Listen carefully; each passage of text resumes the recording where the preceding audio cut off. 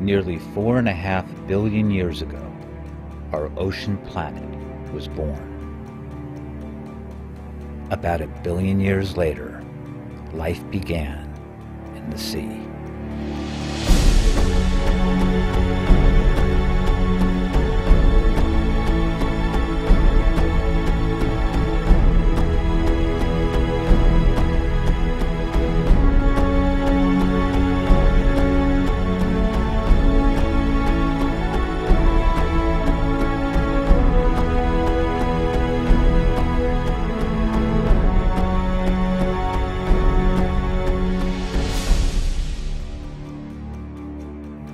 Man first appeared on the planet only 5 million years ago. For most of that time, the sea was unaffected by human activity.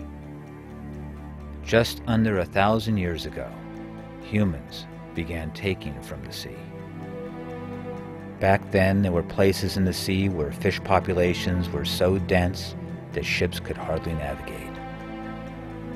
By the time mechanized fishing began, just over 50 years ago, man's exploitation of the ocean had already taken a heavy toll.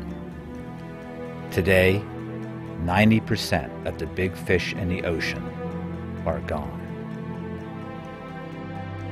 It used to be people thought they couldn't take enough out or put enough into the ocean to affect it if they tried. They were wrong.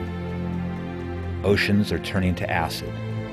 Fisheries are in collapse coral reefs are algae covered deserts.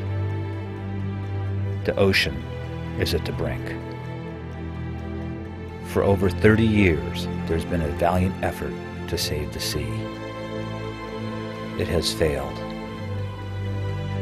The survival of future generations depends on us stepping outside our comfort zones and taking extreme measures.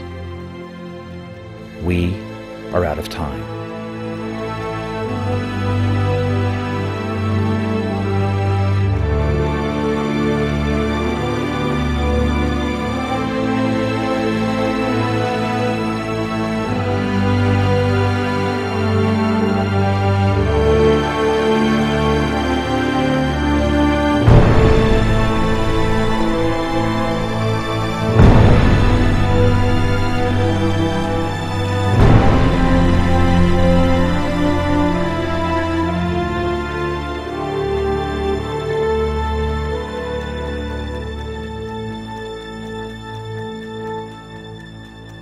we're out of time.